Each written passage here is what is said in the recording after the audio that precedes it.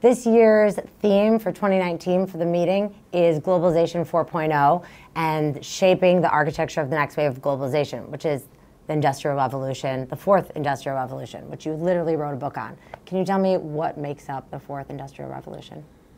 We are living in a time of multiple technological innovations. I just mentioned artificial intelligence, blockchain, and you could add and add. And all those technologies together will fundamentally transform the world, not just business models, but economies, society, politics, and so on. So when we, spoke about, when we speak about uh, globalization 4.0, we want to address the global architecture which is needed in this new context of the fourth industrial revolution. And what was the issue with the last wave of globalization? Oh, we see it already now. There are so many issues like inequality, trade wars, and I could go on and on. So um, the danger is that we deal with those issues, we address those issues with uh, patchwork policies we try uh, to find simple solutions for very complex issues. So what we want to do is to show, no, the whole complexity has to be addressed and the new context has to be addressed. And this isn't a new problem. You wrote about this in 1996, the black backlash against globalization. So what solutions do we have now that will make this round better? We don't know, actually. Um, we know, for example, that the fourth industrial revolution has a tendency to favor innovation, to favor capital at the detriment of labor. So we have to think how we can create a better equilibrium, for example, through new tax systems, uh, through incentives, and particularly through uh, education, reskilling and upskilling uh, to prepare the people for the skills which are needed tomorrow. And you think blockchain will be a big part of that? We don't know yet. Uh, the last verdict is out. I know it's very fashionable, but uh, I have my doubts in many respects. Are there any other technologies that will help lessen the economic inequality? Um, of course, um, if you if you look at um, the new um, possibilities in um, uh, communications combined with artificial intelligence. Just think of um, the new ways we have in education.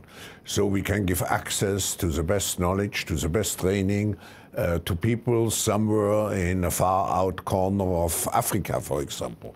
So uh, those technologies could help to um, bridge the gap, but those technologies could also very much widen the gap if we do not take the necessary measures today. And what we're we're talking about the next wave of globalization, but we seem to be in a downtrend of, of a deglobalization right now. What is responsible for that? I would I would um, uh, reject this argument. Um, I think we have to make a differentiation between globalization, which is a fact, and globalism. Let mm -hmm. me come first to globalization. I think the world of tomorrow will be even more globally integrated because we are moving much more into a digital world, into a virtual world. And um, digital flows do not know borders, uh, they don't have to cross borders. So we speak about global integration. Globalism is something different. Globalism means that all our policies should be subject to the so-called neoliberal um, forces of global markets. And here, I think the experience which we have seen is that, of course, we have to uh, have a multilateral, open, rules-based world, but we also have to make sure that we do not destroy uh, national social coherence, because national social coherence is the prerequisite for democracies. And what do you think is the biggest threat to global economic stability right now? I think it's the imbalances which we have.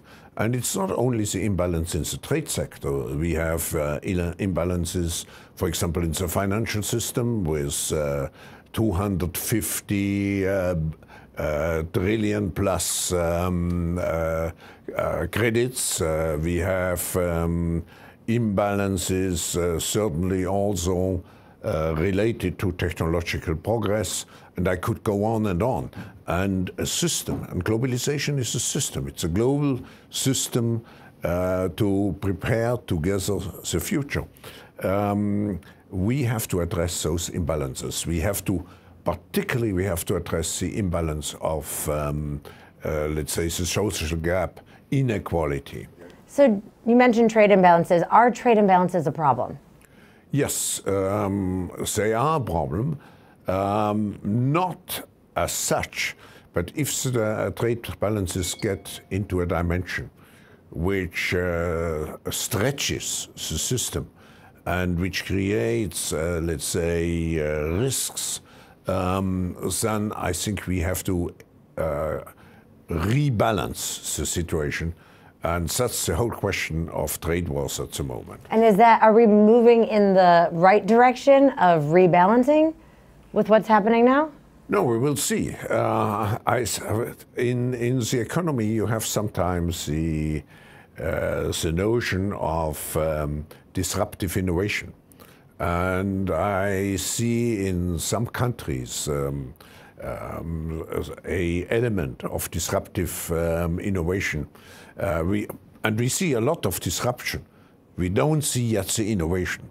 How do we replace, let's say, an unbalanced system by a system where really everybody profits from and where we again in a good exchange of um, global goods, not only physical goods, but I'm thinking also of intellectual property, I'm uh, thinking of e-commerce and so on. We have to integrate trade much more into an overall system. I'm not a unconditional, let's say, advocate of uh, just free trade. Yeah. Yeah, because if you look what happened now in, in many countries, is we see a rebellion of those who have been left behind. Mm-hmm. Um, take uh, what has happened in the election in Mexico, uh, take uh, what has happened in the election of Brazil. Of course, yeah. it was a different uh, group who at the end um, came into government, but um, both um, were driven very much by those parts of population which had been left out in um, the globalization process.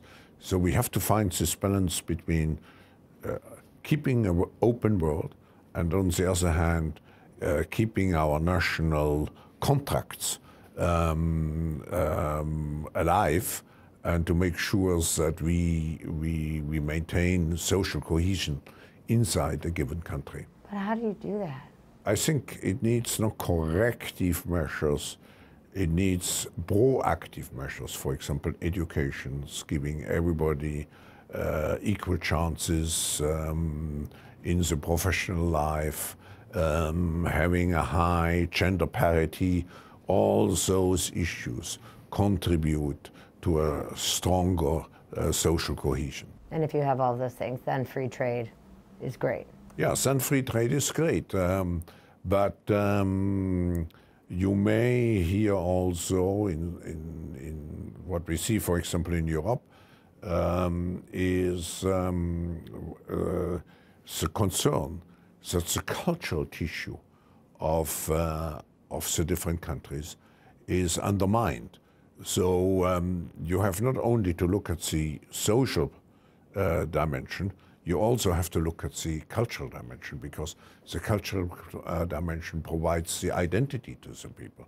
That's the reason why migration is such a sensitive issue because people feel not so much that uh, it takes away the jobs.